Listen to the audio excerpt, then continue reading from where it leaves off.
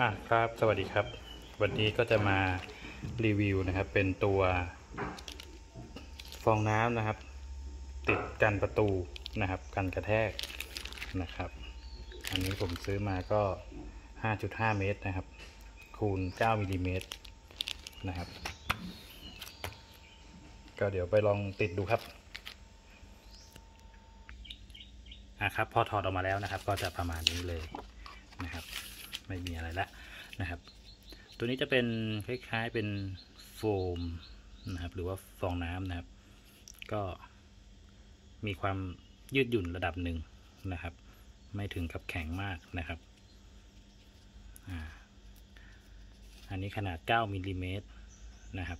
ก็จะามาติดตรงนี้นะครับ ตรงขอบประตูนะครับ ตรงนี้เวลาปิดมันจะได้ไม่เกิดเสียงดังนะครับ แล้วก็การกระแทกด้วย นะครับ ก็จะพอดีเลยครับ 9 มิลนะครับ 9 มิลลิเมตรนะครับ คือถ้าเกิดไม่มีเนี่ยนะครับ เวลาเราปิด มันจะมันจะดังมากนะแล้วก็จะมีช่องว่างตรงนี้อยู่นะครับก็เดี๋ยวมาลองติดตั้งกันดูครับ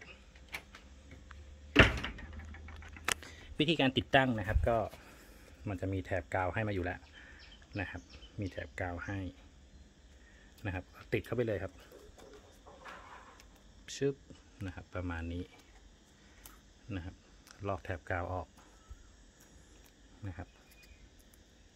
อ่าก็จะเป็นแถบกาวในตัวนะครับ อันนี้เดี๋ยวต้องเว้นระยะลูกตัวก่อนด้วยนะครับ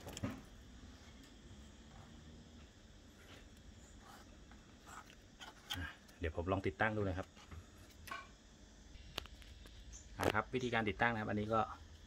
ตัดนะครับ ให้พอดีกับช่องลูกก่อนนะครับ แล้วตรงนี้ผมก็ลอกมานิดนึงนะครับ แล้วก็ติดตรงนี้นะครับ แล้วก็ลากยาวลงมาครับ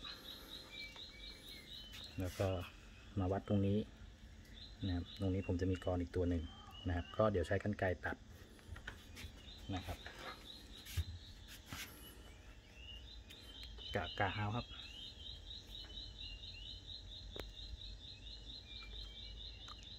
อ่ากะเอาแล้วก็ตัดนะครับ พอตัดเสร็จนะครับ ผมก็จะลอกหัวลอกท้ายนะครับ ส่วนหัวเนี่ยผมติดไปแล้วนะครับ แล้วก็ส่วนด้านล่างนะครับ ก็ลอกกาวออกอะครับ อันนี้ก็คือติดตั้งเสร็จแล้วนะครับ นะครับไล่ลงมานะครับก็เดี๋ยวมาลองปิดดูครับเสียงก็จะเงียบขึ้นนะครับ ก็คือมันมีตัวกระแทกนะครับ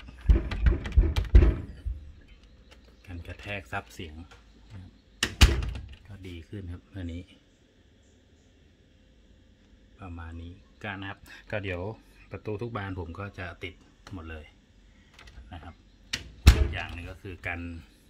ถ้าเป็นห้องแอร์ก็จะกันแอร์ออกด้วยนะครับ ก็ประมาณนี้ครับผม ขอบคุณที่รับชมครับ สวัสดีครับ